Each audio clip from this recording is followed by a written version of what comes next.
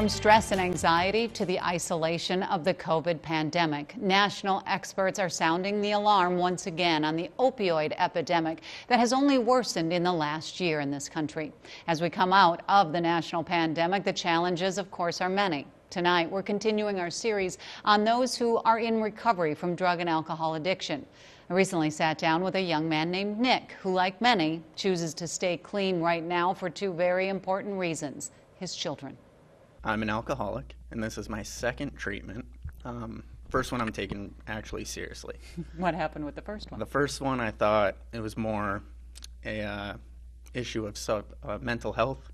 So I was self-medicating with alcohol, and I thought if I got the mental health under wraps, I wouldn't be an alcoholic. I'd be able to drink socially or mm-hmm. keep it under control, and that fell apart quickly. When did you know that it went from social drinking to I think this is a problem? Probably four or five years ago. So what I was happened? drinking for quite a while. Um, I had my second child. So I have a seven year old and a three year old. Uh-huh. And somewhere in the middle there, it just became more of a priority than my family or work or anything else. It was.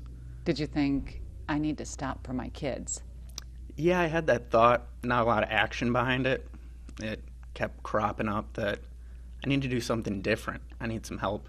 And then you have to come to a realization that you have to do it for you. Yes. How, what has made this time different for you? Um, just the support, the connection in the group.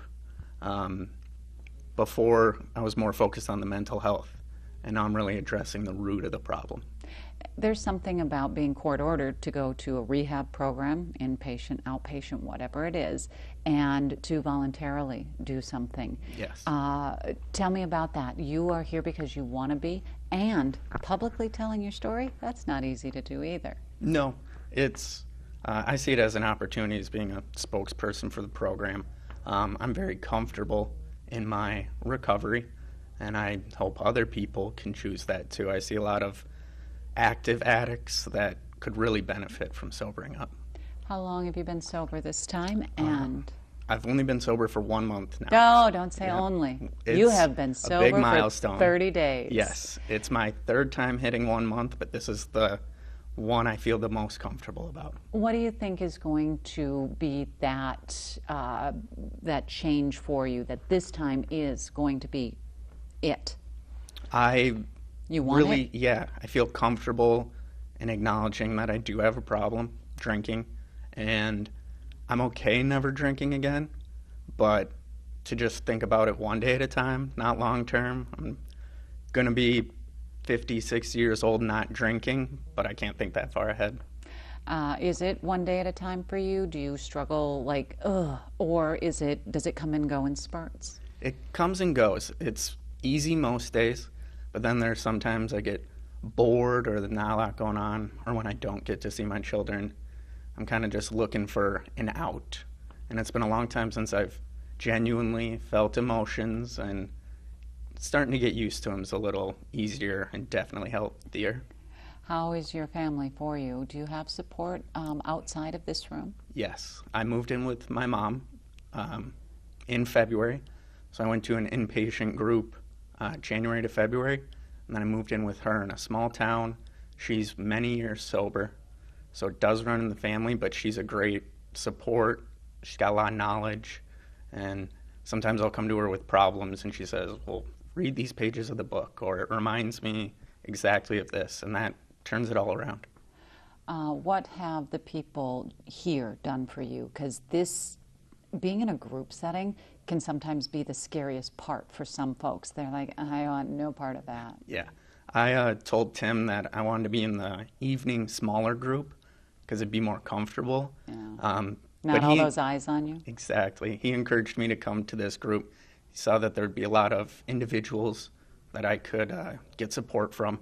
And just hearing other people's stories, no matter how different they are, you can always relate to them a little bit.